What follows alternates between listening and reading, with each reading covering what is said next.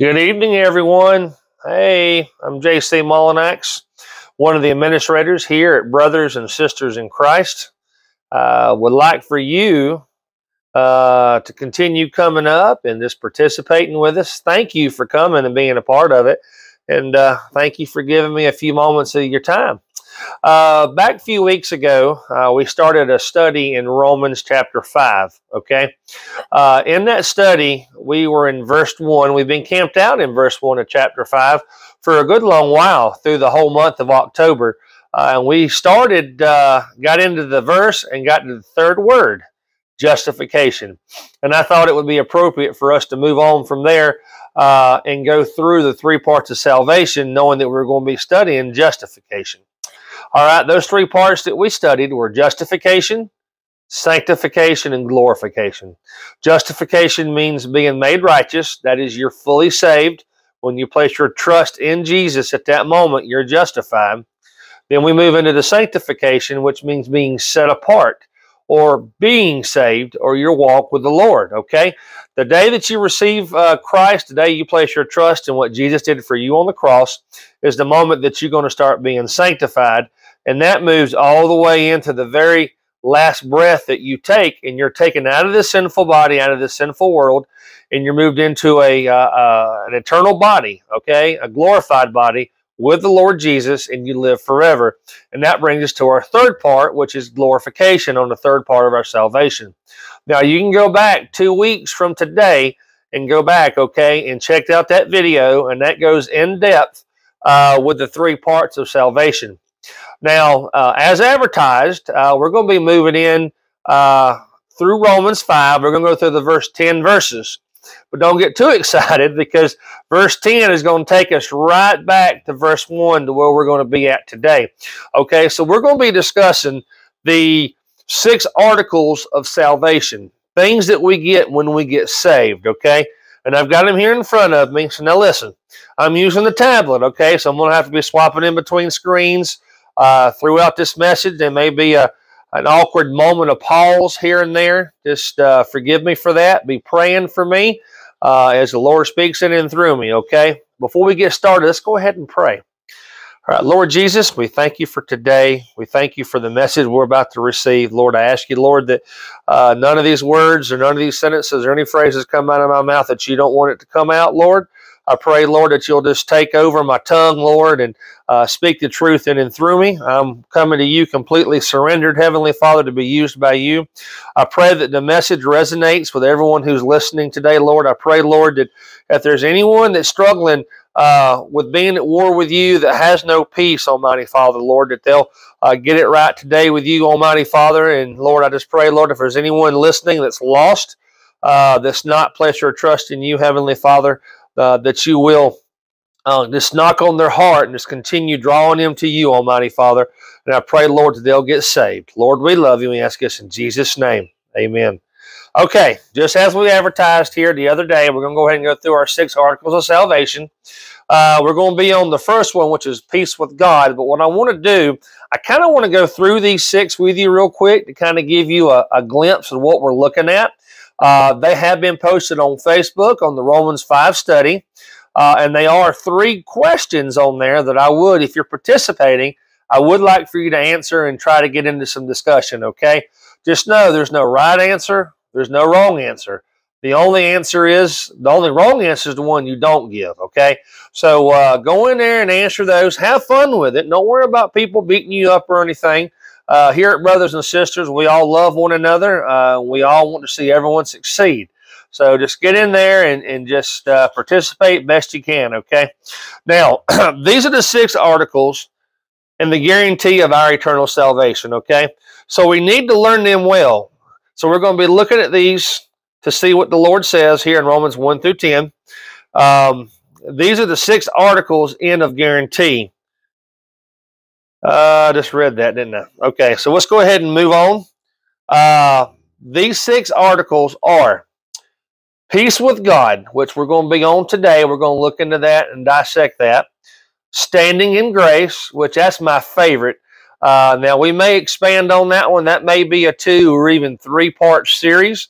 Uh, there is so much to grace. You've got common grace, and we've got saving grace. And we're going to have to define those two to be able to understand what the, the standing in grace means. Uh, and I'm excited about that. I'm really excited. Uh, number three is hope and glory. Four is assurance of love.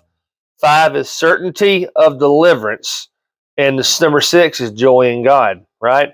Uh, it's all about that joy, about being saved and having that, that joyful relationship. We're going to get into that pretty deep too. Okay, so what we're going to do, we're going to go to Romans 5, uh, we're going to start out in verse 1, okay? And uh, I'm reading for the King James Bible here, so if y'all guys will just follow along with me, and then we're going to go on and read through verse 10 and come back to verse 1 and get into the text for this evening. All right, starting with 1. Therefore, being justified by faith, we have peace with God through our Lord Jesus Christ by whom also we have access by faith into his grace wherein we stand. And rejoice in hope of the glory of God. And not only so, but we glory in tribulations also, knowing that tribulation worketh patience, patient experience, and experience hope. And hope maketh not ashamed, because the love of God is shed abroad in our hearts by the Holy Ghost, which is given to us. For when we were yet without strength, in due time Christ died for the ungodly. For scarcely a righteous man would one die, yet peradventure for a good man even one would die. But God commandeth his love toward us, in that while we were yet sinners, Christ died for us. Much more than being now justified by his blood, and here we go, it's getting good, we shall be saved from wrath through him. This is it. 10. For if we were enemies, y'all get that? We were enemies. We were reconciled to God by the death of his Son. Much more, being reconciled, we shall be saved by his life. We were enemies, and that's what we're going to be looking at today. Okay? We're going to be looking at uh, the Christian who is not at war with God anymore due to their justification, their salvation. You know, there's something that people don't really know. When we look at the word peace, okay, we look at it maybe as a feeling. Hey, I'm at peace. I feel at peace. Uh, I, I'm okay with the way things are going, but that's not the that's not what we're looking at here as peace. We're looking at more of a direct, uh, uh, more of a reality of a peace. Did you know that Christians, I'm sorry, that lost people are at war with the Lord? There is a battle going on. Now, you lost man that you're listening today, you're listening this for the first time, and you're saying, Look, JC, brother, you, you, you're, you don't know what you're talking about. You're foolish. Uh, I'm not at war with the Lord. I stay away from uh, things. I live in my own life. I don't bother anybody. Uh, I do my own thing. I'm set apart that way. Well, no, the Bible tells us that we're at war with the Lord. And we're going to go into th- uh, some of these scriptures here, uh, into the Old Testament, into the New Testament. Then we're going to bring it all together uh, by coming into the book of Colossians uh, and setting up the stage to end this study for today. But uh, as we go in, go to my notes. Okay. Peace with the Lord, okay? Peace with God. Not it's not a subjective or an internal sense of commonality, okay? What is an external, objective reality? That's what it is. It is a reality. There is a war going on. You may not see it, but there is a war going on. When you're saved, your eyes are open. It's sad that a lot of Christians don't see this, okay?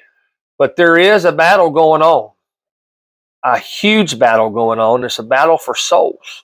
It's a battle for you, for, for you trying to rip you out of God's hands, trying to get you to, to live in sin and, and not be victorious. Okay?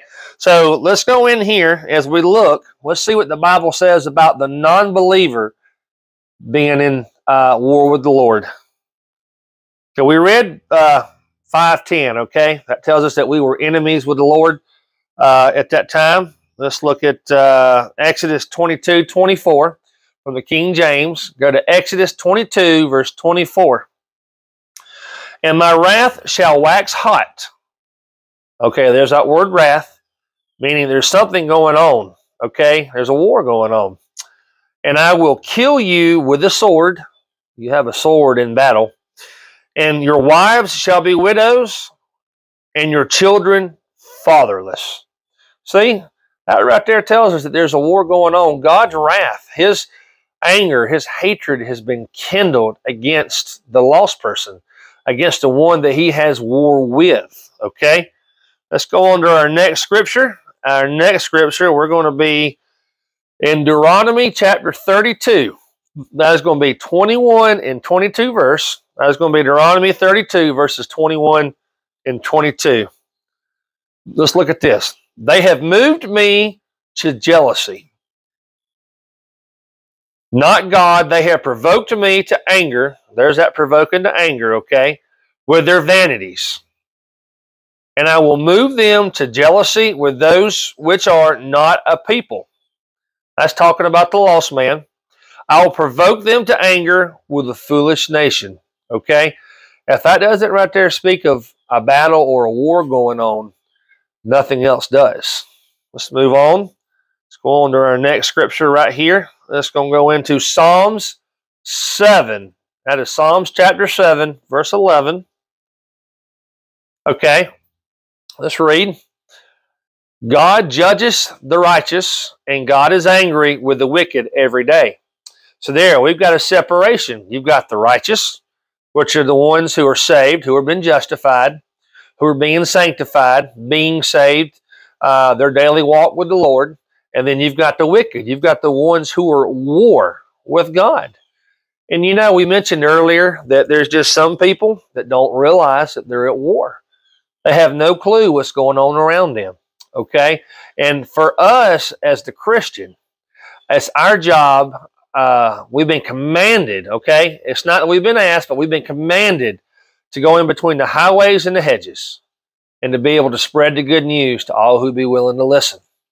And that's what we need to do. We need to share our faith. We need to let these people know that they're blind and they're walking toward a cliff. And there's all these warning signs, right? And since they're blind, they can't see. So, us who can see, what we want to do, we want to do the kind thing. We want to go over to that person. We want to say, look, I just want you to know that there's a cliff about 50 feet away and you're walking toward it and there's clear signs. And I know that you're blind. I know that you can't see it. But I'm just giving you fair warning. If you fall off that cliff, you're going to die. And that's what we need to do as Christians, okay? We need to share our faith. We need to share with these people that they are a war going on and that they are not at peace with the Lord. For them to receive that peace, for them to stop being at war with the Lord, they have to be saved. Okay? Let's go ahead and move on to our next scripture. Uh, we're going to move into, uh, let's see, we're going to move into the New Testament. Move forth. We're going to be in John chapter 3, verse 36. Okay? Chapter 3 of John, verse 36. It reads, He that believeth on the Son, okay, he believeth on the Son has everlasting life, and that he that believeth not the Son does not have life, but the wrath of God abideth on him. See, there we go. We saw that in Exodus. We saw that uh, in Psalms. We're, we're seeing this all over the Old Testament God's wrath. See, God loves everybody, but the point of it is that not everybody's saved, and not everybody's going to be saved. But everybody's going to receive that conviction, that knock on the heart, right? As much as God uh, hates sin, and much as we've alienated ourselves from Him, God still loves us enough to forgive us, okay? And to pull us out of that war and bring us into peace. And Jesus does that with his works on the cross. See, when we're when we saved, we're buried. The old man is buried. And we're raised up in the newness of life. We're new creatures. We're raised up in Christ. Christ in us. We're now one with Him. Uh, y'all hear that bird in the background? yeah. Okay. So that's that's basically what it is. Okay. Um, we're going to move back into uh, the scriptures. Uh, we're actually going to move on into Ephesians 5, verse 6. Now, I'm just going to tell you right now Uh, Ephesians is my absolute favorite book in the Bible. Uh, back last November and December and January, I went through a very extensive study in the book of Ephesians from 1 to verse 6. And we all know that chapter 6, okay, uh, is one of the most famous chapters in the Bible, the body of armor. Helmet of salvation, breastplate of righteousness, uh, gird your belt with the uh, with the truth. Okay, the truth belt.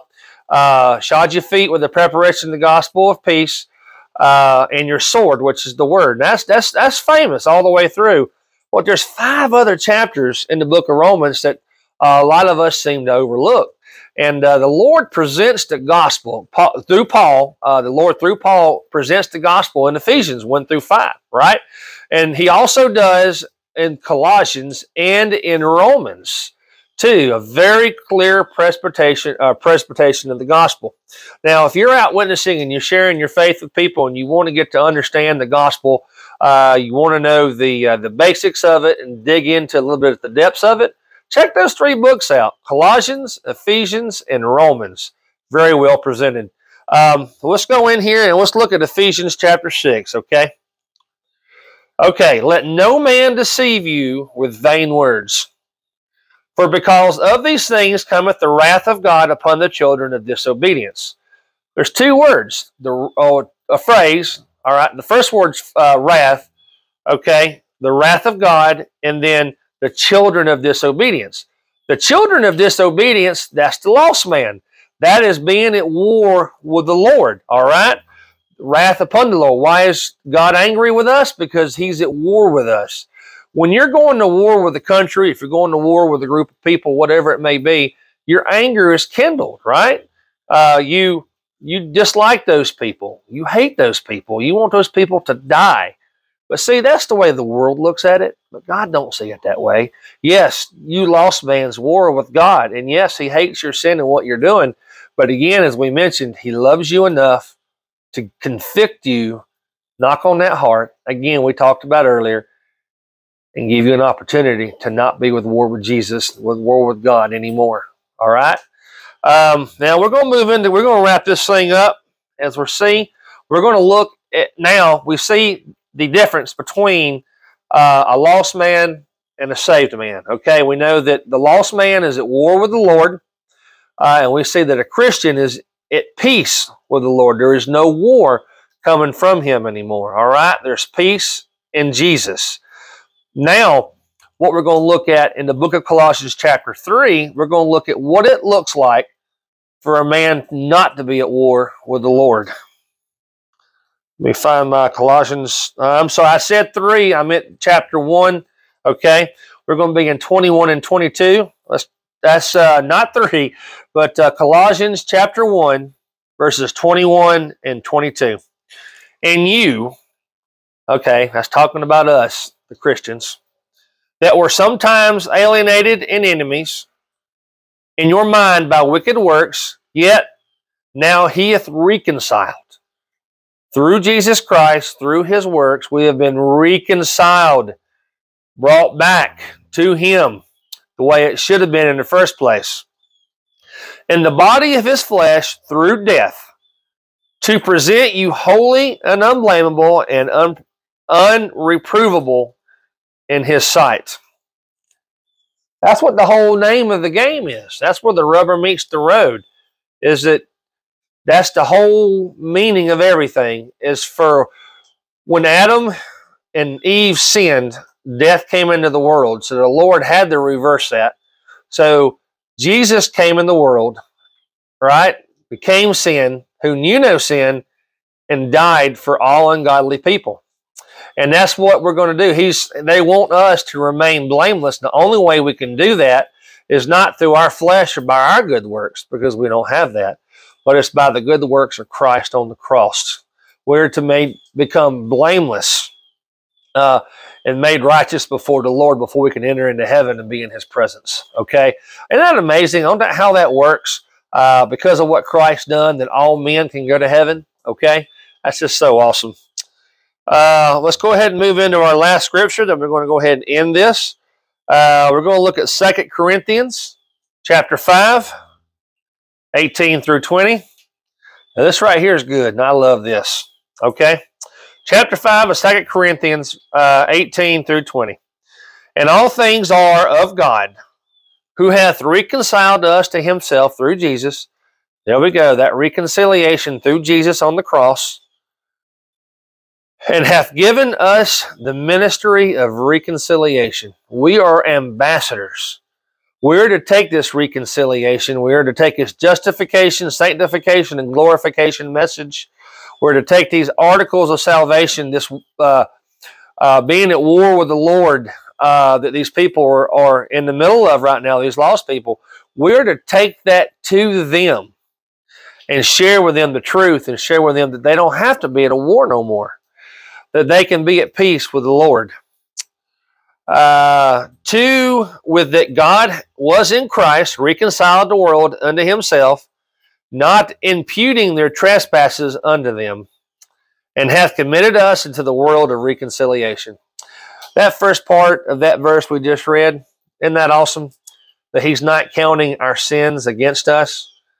Murders, lies, mischief, alcohol, sex, drugs, no matter what your sin is or was, God does not count that on your account. See, your account was wiped clean through the blood of Jesus Christ, our Savior. See, the Bible tells us that He takes our sins and tosses it from the east to the west. Did you know that there is no end to the east and there's no end to the west? There's nowhere to stop it. It's unlimited. Okay? That's awesome. He even goes even further. He says, I take your sins and I take them to the far depths of the sea and I bury them in Christ.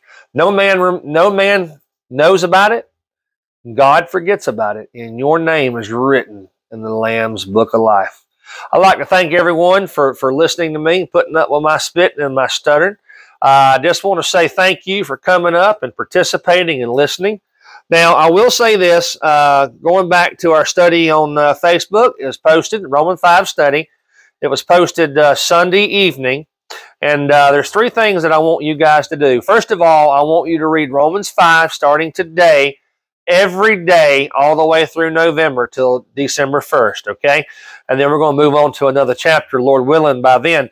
But what I want you to do is read Romans 5 every day, no matter if it's in the morning, in the evenings, now, I know you've probably got your own Bible study. I know you've probably got your own devotions. That's okay. But for you to participate, I want you to read Romans 5 over and over and over again. After about the fifth or sixth day, it's going to sound very redundant and very boring. But I'm telling you, in, in my studies and in my walk with the Lord, reading the scripture over and over and over again, it seems to help me. It brings forth memory, uh, scripture memory. It brings forth uh, a better understanding and then uh, I seem to be able to quote better. And then Lord puts people in front of me. Usually, when I read something that day or that morning or a couple days before, uh, the Lord usually puts somebody in front of me and has already prepared that message for that person to be able to hear. And I can't tell you how many times that's happened. Okay, now the six articles on the second part of this study are, are the ones that we mentioned earlier in this video. So, what I want you to do is as you participate, if you want to participate, go through those six articles of salvation, okay, the things that we get when we get saved. And I want you to add scripture to all six of them. Just put them down in the comments. Uh, no, there's no wrong answer, no right answer. Uh, everybody here at Brothers and Sisters in Christ, we all love you and we're all rooting for you, okay? So this is all nothing but encouragement, all about love. There's no one going to be downing anybody here. So go in and put your scriptures down, okay? And three, what I want you to do is I want you to start preparing a three minute testimony.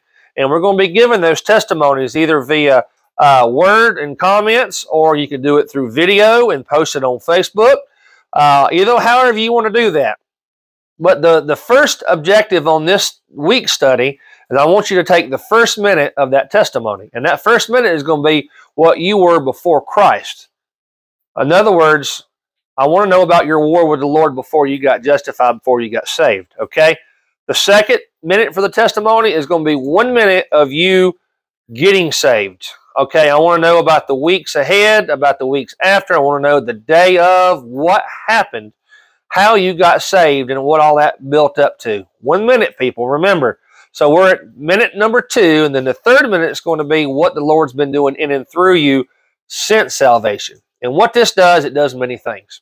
It begins to bring into the lesson your personal testimony.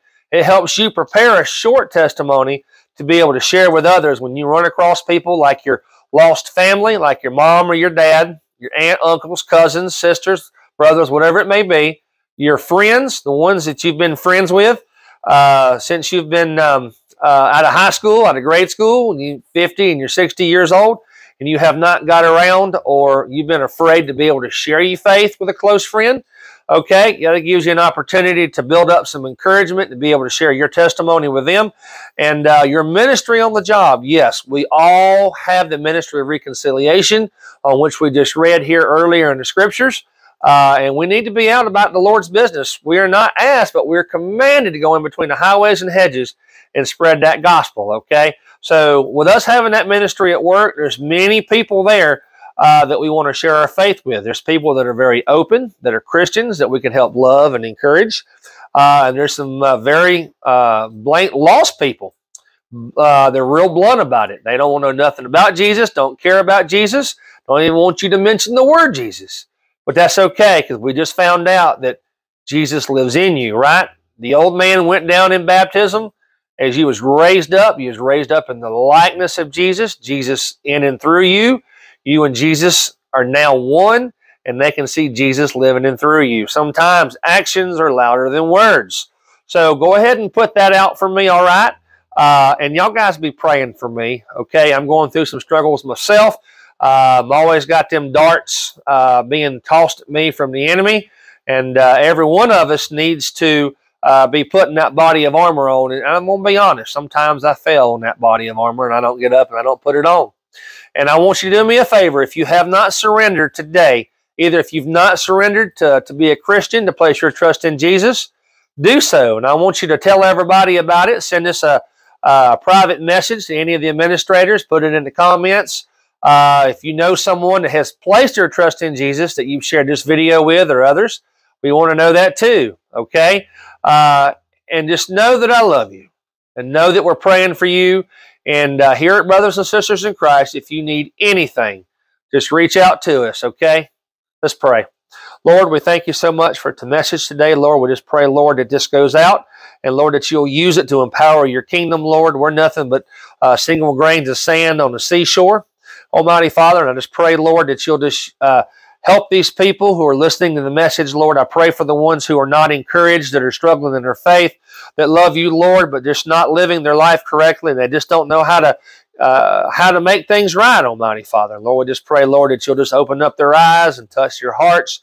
And know, Lord, that they are saved, Almighty Father, and that you love them, Lord, and their sins are forgiven.